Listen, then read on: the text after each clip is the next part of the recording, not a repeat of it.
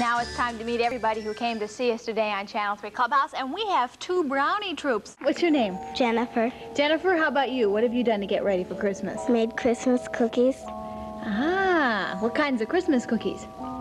Gingerbread boy. Hmm, is that difficult to make? A gingerbread boy? I've never made one before. Not too hard. As I recall, there was a story about a gingerbread boy, but he got up and ran away at the end of the story. Where's your gingerbread boy? I ate it.